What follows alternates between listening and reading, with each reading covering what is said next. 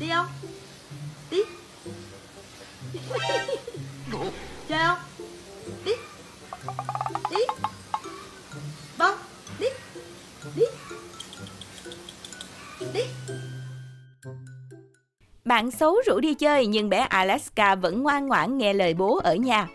Bé chó trong đoạn clip tên là Bông nha cả nhà, giống Alaska. Nhìn tướng nó chắc cũng sương sương hơn 50 cân chưa nhiều. Hiện đang là con ruột, là bé ngoan trong mắt ba mình đấy. Hold up. Wait a minute. Nay mình ra khỏi nhà giả vờ rủ ảnh đi chơi. Tuy mỗi lần vác cái thân xác đó để đi thôi là cũng đủ mệt mỏi rồi. Nhưng mà bông nó hàm đi chơi lắm. Đó, mới gạ nhẹ cái là nhóm dậy định đi liền. Nhưng mà xui cho em là gặp ngay bố. Bố cưng thì cũng cưng lắm. Chứ mà nghiêm khắc thì ai cũng sợ. Chỉ tay phát hắn im rè không dám nhúc nhích. Chui lại vô chuồng liền.